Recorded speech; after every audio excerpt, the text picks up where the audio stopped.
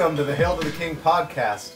I'm Mark, And I am Magnus. and today we are going to talk about A Very Tight Place, a short story in Just After Sunset by Stephen King.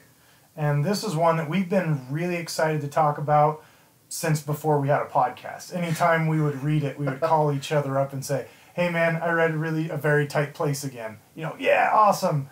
You know, it, it's just a really, it's a fun, gross out story. And uh, this is one of the ones that we wanted to do uh, once we got this podcast going. So, um, quick, quick uh, kind of Cliff Notes version of the story. Um, it's about two neighbors who have a land dispute.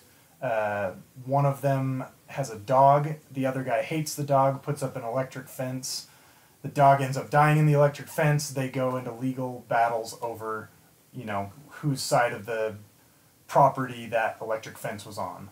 And it turns into years and years of them just squabbling in court. And right, it's, it's years, right, since the dog died. Uh, no, it, it seems recent. Somewhat recent. Somewhat They, recent. they, I, they've just hated each other for years. you yeah, know? they've hated each other for a while. It started out with uh, another neighbor. So there's there's Curtis, uh, Curtis Johnson, the main character, Curtis who Johnson. um, who is homosexual, and it doesn't sound like that's important, but it does play a part later. Yeah. There's Tim Gr- uh, Grunwald, um, the TMF, TMF. the TMF, Keep And it then- family friendly here. and then there's another neighbor, and they actually go like the other neighbor dies. Before he dies, he has both of them like offers both of them A this piece of land. a piece of land that they both have you know plans to do stuff Prime with. real estate. They live in Florida and uh, is that Turtle Turtle Island? It is, yep. Turtle Island. Which again, Stephen King, Turtle Man. There you go. Um, yeah, it's a piece uh, piece of property that you know could be good for like a real estate company to put apartments up on or whatever. You know, beach condos. You know, kind of the. Uh, it's it's in a neighborhood of millionaires. You know, self-made millionaires and stuff. And there's this piece of property. They're all kind of worried that maybe eventually it'll be you know commercialized for tourist type people and stuff. Yeah. But yeah, so they get in this this dispute, and just to mess with him, he gets that electric fence, ends up killing his dog. See, You know. it, it's kind of implied that it's on purpose, but Yeah, but anyways, uh, they uh, Grunwald gives a phone call to the other guy and says, you know, meet me here, and I'm ready to talk, you know, truce on this whole feud that we have going. So then he meets him out at uh, at a construction site for the business that he owns that's actually going under. Uh, he has a lot of legal problems, but uh, he s- sticks him up with a, a gun, forces him into a porta potty. You know, pretty much says everything in my life, all the all the things that are wrong. My wife divorcing me, uh, my business going down. Uh, you know, just all the stuff with you. It's it's all because of you. And he he ta- he has this like dilute. He maybe the uh, okay. It's revealed that he has cancer, and it seems like the cancer is kind of the the cherry on top of all of his life's problems. And he just you know probably is a little bit crazy, actually insane by uh, what's going on circumstances, you know, circumstances, everything. yeah. And so he invents, he, he turns his neighbor into a a witch. He's he calls him a gay witch. And he and he does like that's the whole reason he's like, you know, you like gay and witch somehow are connected in his in Grunwald's mind. Mhm. Like I don't know how, but it's really funny. yeah, it, he's he's like a, a crazy person, like a crazy cat lady, you know. But he's a crazy rich real estate mogul Yeah. who's decided, and you know he's probably a little homophobic beforehand, kind of guy who, you know, watches like really, you know, those like super conservative type uh, news shows where they're just like, you know, Bible Belt, Yeah. uh, you know that that whole thing. Uh, God hates, you know, FAG, right? yeah.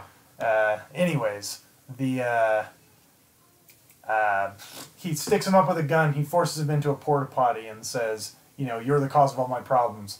And then he pushes the porta potty over, door facing down, and it's a construction uh, grade porta potty, and uh, so it's reinforced with uh, Metal sheeting. metal sheeting so that uh, vandals can't just you know break it open and whatever. So he pushes it over, and he's pretty much stuck in a porta potty coffin, you know, sideways with with the crap just dripping down slowly on him. You know, it's it's it pushes over into like a ditch, so it was already kind of pushing over anyways. But um.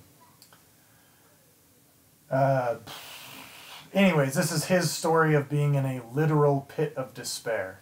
If you're familiar with Joseph Campbell, right? Yeah. Hero of a Thousand Faces. Anyways, he is in the pit of despair, and he has to deal with the situation. He seems like he's at the end of his, uh, you know, I think it's like two days in there, and he's pretty much, uh, you know, sometimes feeling like it's the end of his life. Other times he's trying to find a way out. He eventually crawls into the, uh, the, the compartment, the the poop area.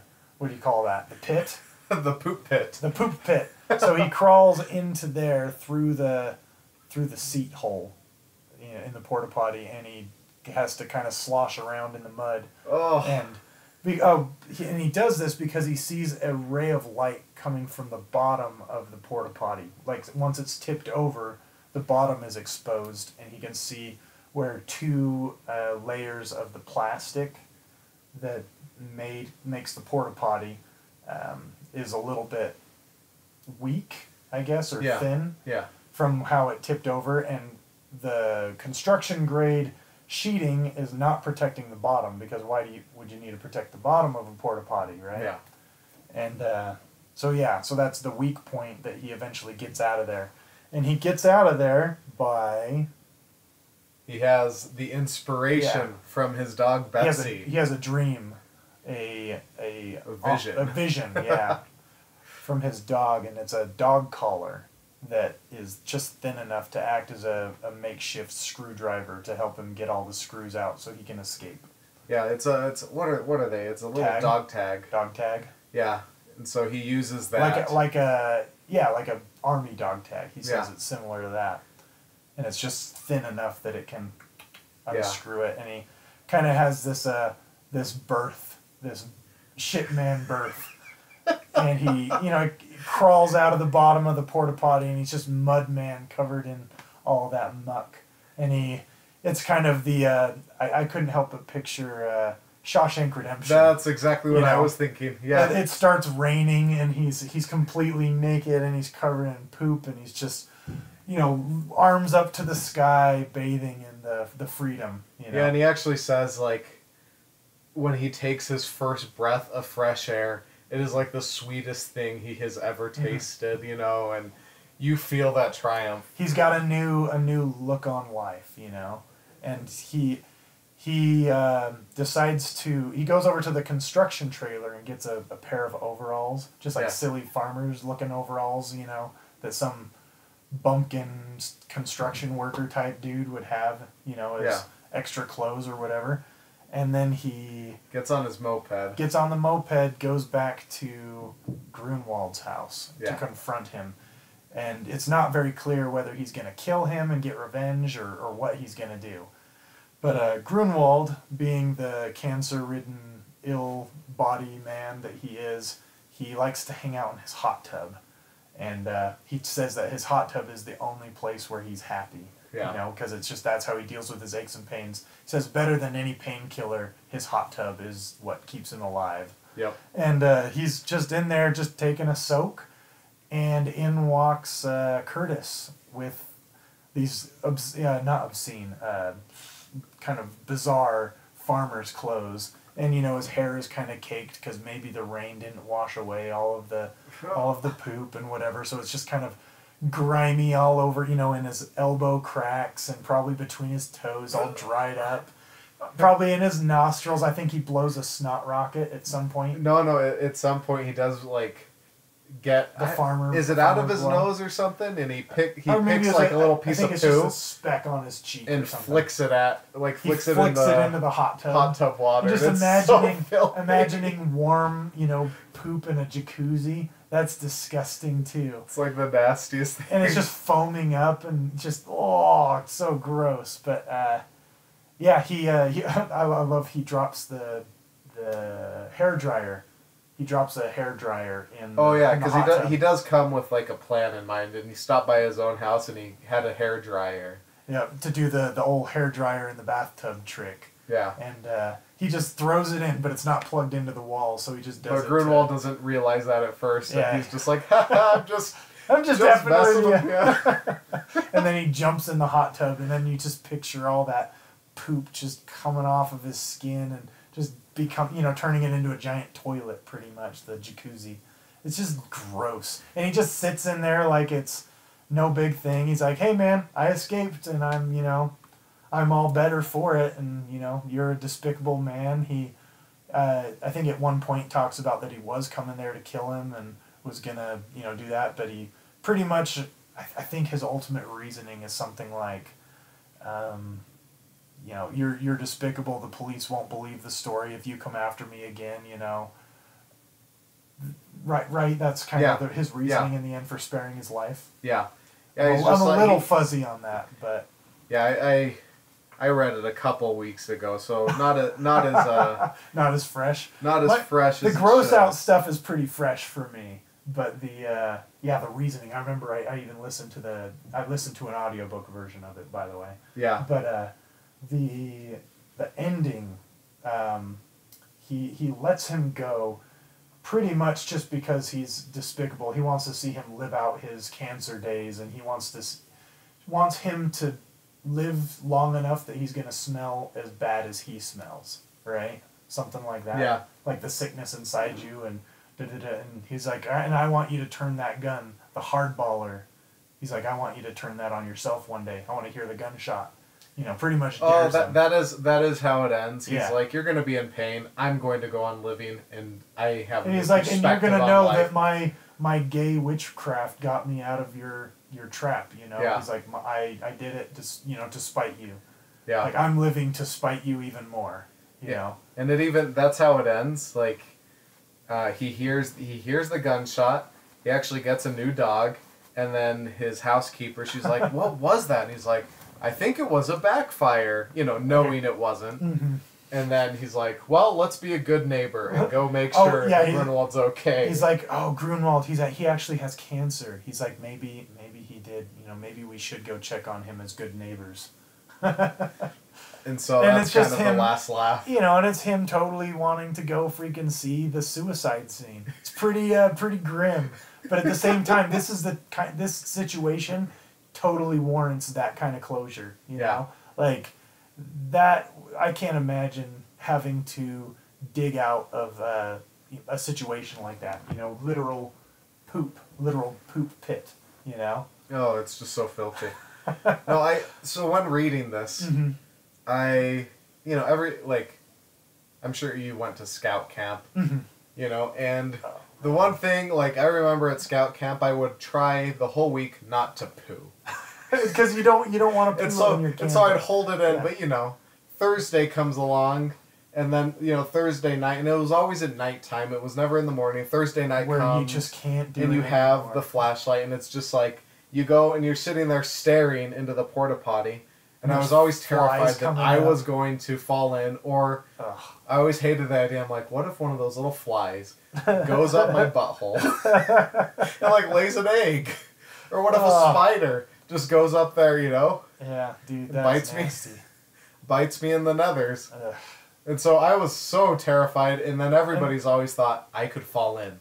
Yeah. It has its own No, gravitational anytime pull. you look into a like an actual porta potty, or yeah, even a camping one, you know, like any kind of pit of poop, it's like, What if I fall in there? and, and you can't help but also picture, you know, like a monster down there, a Oh, mud, yeah. a mud man, a shit man, you know, and it's just it, there's so many fun visuals in this one, and uh, picturing that.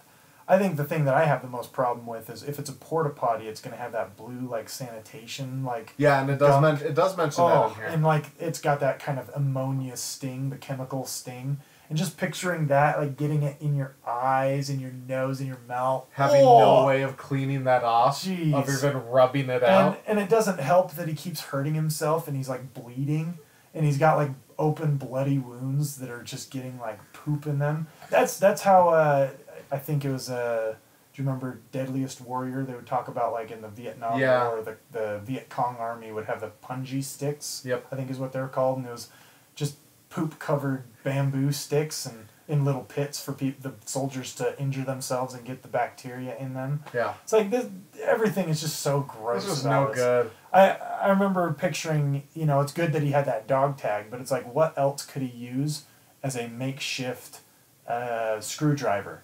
And I'm like, in that situation, it kind of reminded me of the movie 127 Hours. By the way, did you see or hear about that one? I know the story. the I know story, of the, yeah. the the hiker who gets his arm stuck and has to cut it off with a, a pocket knife. yeah, But any, anyways, this one kind of reminded me of that a little bit. But um, yeah, I'm like, what would I use? What could I use on my body if my pockets are empty and I've got like clothes? What could I use as a screwdriver? I'm like, I could knock out a tooth, like maybe knock out your front tooth. Use that as a ah. screwdriver. And oh man, yeah, it got me all ah. cringy. Ugh. Got me all cringy. Because then you have to that. touch your ma- I mean, Oh, and just knocking out your ah. own tooth. It, it, was kind of like Saw, you know, the yeah. the the traps in Saw. It's like how bad do you want to live, you know? And then I thought about my toenail, my big toe, and I'm like, or or a thumbnail, just tear that off and use that as a screwdriver. Fold it up a little. Ew, so gross. Oh, I loved I loved reading this one. I think I actually laughed Yeah. out loud It's it's it's one I can during read. so many parts of this. Yeah, I can reread this one endlessly. Like, I mean, you know, I'll, I'll usually listen to it twice in a row every time I come back because I'm like, yeah, that was awesome. I'm gonna read it again. and it's just, it's a, I think, uh, audiobook version is about two hours. Um, I've, I think I've, I read this one uh, with my eyeballs when it first came out when the book was brand Oh, yeah. new. I think that was around 2008. Mhm. Is that right? And uh, I was working at the the Provo Mall as a security security guard, and for some reason I'm just remembering that's where I read it. But uh, I remember reading the book at night because I was the the graveyard security at the mall, and the book was new enough that the audiobook wasn't out. So I'm like, yes, I got the book brand new first day, Yep. and I'm just reading through it like crazy. And this one stood out to me, uh, in particular, as well as N, in the just after Yeah. sunset. N is a really good one that I'm excited to do at some point. Which actually, uh, is there anything else that we want to add to? No, this? I don't know. It's it just was, a fun one to talk about reading. I was trying when I was reading it. I read it for fun, but I was trying to think of any sort of connections. I, I think besides Shawshank Redemption and then the Turtle Island. You Yeah, Turtle Turtle Island. That's pretty much it for me. Um, as far as supernatural goes, you know, he has that little vision from his little dog, his faithful dog. Mm-hmm. You know, saying like, "Hey, A supernatural vision. yeah, Yeah. supernatural vision." But no, I don't have anything to say other than it's hilarious. It's funny that Stephen King It's- can turn It's a good one. Oh, you could. no, Sorry, I he could turn that into a terrifying situation that is fun to read. Um, great. And I, I know some people who you could literally talk about this and they'll start gagging. Like they will uncontrollably be gagging. Like I, there's somebody I know. It's my uh, my sister-in-law, Erica. You talk to her about blood or bacteria, feces, body, bodily fluids of any kind, and she starts to literally gag. And sometimes she'll throw up. She'll throw up from words. You could tell her words Oh, make her throw up then I want and her to this is the kind of story that if I could trick her into reading, like I would, and you know maybe I'll try. talk talk to her husband. Anyways, um, yeah, the great story, a lot of fun to read. If you've never read any Stephen King, this is a fun one to start with, just to get an idea of his like characters. Yeah. You know, some of them can be a little over the top, uh, stereotype type dudes. You know, like this Grunwald. He's the you know grumpy, whatever. Uh, yeah, um, conservative super mogul, conservative, um, homophobic homophobic mogul, you know, neighbor. yeah, real estate baron. but yeah, just yeah, bad neighbor kind of reminds me of the one in the mist a little bit. Yeah, well. yeah, he does. He does actually, and that's really good. But Good yeah, point. I uh, besides the turtle thing and the supernatural dream, not not really any Dark Tower stuff. No, But it was written. Uh, it's funny. It's one of the Stephen King locations. You know, Florida. He's got a couple stories. Duma Key. He's got this one. There was the gingerbread girl. yeah, uh, I don't know.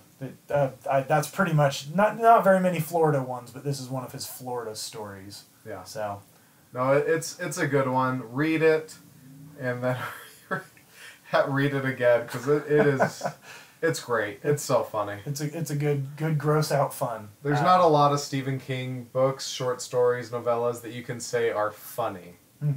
And this but is this one, this yeah. is one of them. This is very lighthearted, with a great Stephen King spin. Um, that brings me to uh, what what do we what did we want to read next? We were thinking 1408. Fourteen oh eight. So I brought it up to Mark as this is one of my again one of my favorite short stories. One of the ones I wanted to do a podcast because of this story, uh, and it's a haunted hotel room. And I'm, I'm excited because I actually have not read it. Uh, a lot of these I've read before. 1408 I haven't read. I really don't know anything It's it's anything about like, it other than what Magnus It's almost said. like a short story version of The Shining. okay. Like it's it's a little different, but trust me, it's it's one of his best. I think it's one of his very first short stories that I ever read actually. Okay. And I remember getting the chills. I was I was working as a uh, I don't know, on my job I could I could use headphones and uh, I I listened to the story and it just it literally gave me goosebumps listening to it at certain parts uh, of the audiobook. So anyways, it's a good one. So go check it out and tune in next time, guys. Because uh, that's the one we're gonna do. That oh that that is in just after sunset. No no no no. That's from uh, Everything's Eventual. Yeah. Everything's Eventual has fourteen oh eight, which is our next episode. Sorry, we just got really excited. It's been a while since we've recorded uh, an episode for you guys. A lot of holiday stuff around Halloween that was taking up some time, but we're getting back on track. Yeah, and uh, just remember if you guys, you know, follow us on on Instagram, uh, check us check out our videos. We hope to be hope to be putting this on iTunes and you know yeah, it's just a just real, other- real podcast real soon. yeah, other podcast platforms really soon. So but we'll get this episode out on YouTube. You'll be checking it out on YouTube first. But, yeah, and we do take requests, and so you know if you guys have any ideas, send them our way. And always remember, there are other worlds than these.